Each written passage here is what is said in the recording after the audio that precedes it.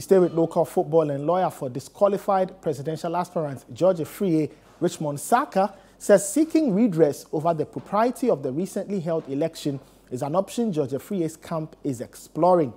He said this in an exclusive interview with Citi Sports ahead of a court hearing on Thursday, October 12, following the GFA's election that was held in Tamale on the 5th of October. The court injunction, backed by King Faisal, sought to have the elections halted until a court hearing on Thursday. Now, Saaka also clarified that George Afriyie's camp has submitted an application for an interlocutory injunction on the GFA's elections. Okay, so let me clarify something. What we had was an application for interlocutory injunction pending. Uh-huh. The court hadn't made an order for interlocutory injunction. That clarification has to be made. Okay.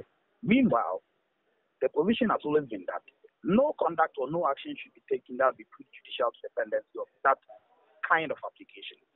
So by proceeding to conduct that election, clearly they had overreached the basis for that application. And so we are advising ourselves about it. However, uh, it's tried that, and one decides that you would uh, disrespect the authority of the court and the court's mandate to decide such fundamental issues brought by a citizen of this country, the necessary uh, penalties shall apply.